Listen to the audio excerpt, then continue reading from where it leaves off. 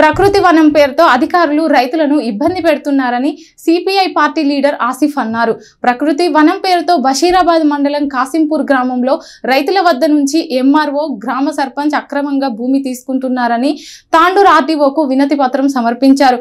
వెంటనే రైతులకి న్యాయం చేయాలని ఆసిఫ్ కోరారు. ఈరోజు ఆడియో ఆఫీస్లో తాండూర్ ఆడియో ఆఫీస్లో ఒకటి రీప్రజెంటేషన్ ఇవ్వడం జరిగింది.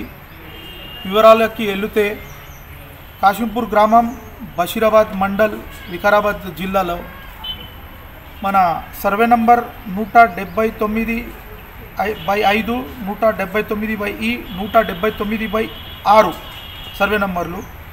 సాయమ్మ కిష్టమ్మ బా సాయిబమ్మ వీళ్ళ ముగ్గురిది రెండు రెండు ఎకరాల భూములు ఉన్నాయి ఈ భూములకు అక్కడ గ్రామ సర్పంచు మళ్ళీ అక్కడ అధికారులు భూమి పైనకి వీళ్ళకి రా రా రావడం ఇవ్వన జరుగుతుంది. ఆ భూమిలో వీళ్ళకి మన ఇది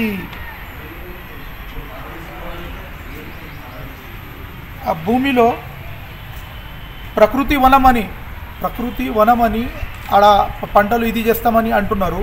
వీళ్ళకు పట్టల భూమి వీళ్ళు కలెక్టర్ ఆఫీస్కి ఆర్డీ ఆఫీస్కి మండల ఆఫీస్కి తిరుగుంటా ఇబ్బంది పడుతున్నారు.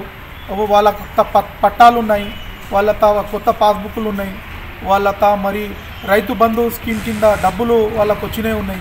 ప్రతి డీటెయిల్స్ ప్రతి వాళ్ళకి వాళ్ళకి అథెంటికేషన్ డాక్యుమెంట్స్ పెట్టి కూడా ఈ రైతులకు ఇది సత ఇబ్బంది పెట్టడము ఎంత సమంజసం ఇది? ఇది చాలా సిగ్గు సిగ్గుచెట్టు అని నేను నిరాశిస్తూ ఇక్కడ రీప్రజెంటేషన్ ఇవ్వడం జరిగింది.